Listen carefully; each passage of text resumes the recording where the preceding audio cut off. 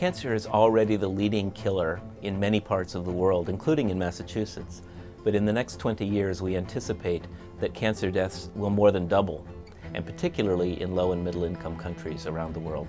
We have an aging population, not just, of course, in the United States and Western Europe, but in China and India.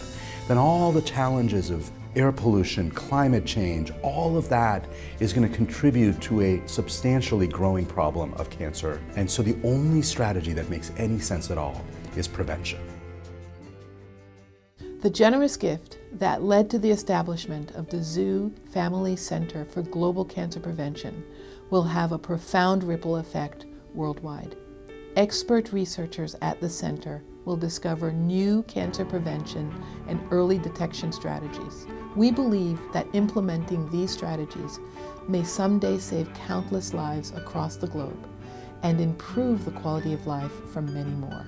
We at the Zhu Family Center for Global Cancer Prevention are extremely grateful for the vision and generosity of our donors. The inauguration of this new Center for Global Cancer Prevention is coming at a very exciting time. We have many new technologies and scientific advances that allow us to innovate how we approach cancer prevention and early detection. Technologies are being developed today which can look into the blood and find very small signals which might indicate cancer. We're also looking at technologies that can assess the urine, the breath that we exhale, all kinds of biological specimens to search for fingerprints of cancer. Biology or science is extremely important for cancer and all human diseases.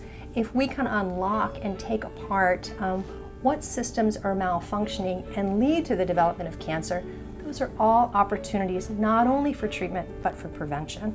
For the first time that I can think of, we have one place that brings together the leading scholars uh, from around the, the community to tackle this challenge. One of the exciting developments in our new center is bringing together scientists, clinicians, and implementation experts from across Boston. It's such an exciting time in Boston right now with all the enthusiasm from multiple fronts for uh, new ways of preventing and detecting cancer, looking at patients at high risk. We can have population scientists, implementation scientists, uh, basic scientists, computational biologists, and technologists in the room together focused on quick and effective preventative strategies that we can move from the bench, from the lab, from the big data analysis into people and populations quickly. An important consideration for our center is to ensure that all populations, regardless of their education, income, race, orientation, or residence, have access to the kinds of state-of-the-art strategies that will lower their risk of cancer. We know a tremendous amount about how to prevent cancer. We have many interventions, we have vaccines, we have policies, and we have community partners that can really work together with us to make our communities as healthy as possible and to prevent cancer. And so a big part of our work is to try to figure out how we really make that happen for all people.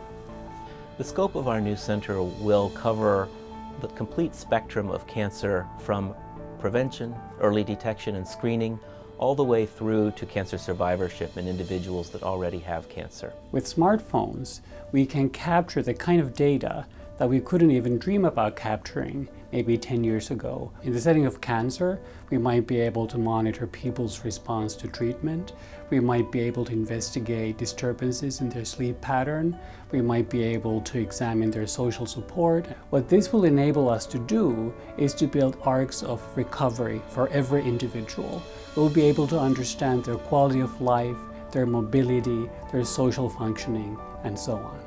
We envision a world where fewer people will be diagnosed with cancer and those that are diagnosed with cancer will have better outcomes and a better quality of life because we've detected those cancers earlier. Our innovative approach will generate groundbreaking discoveries that have the potential to save lives around the world.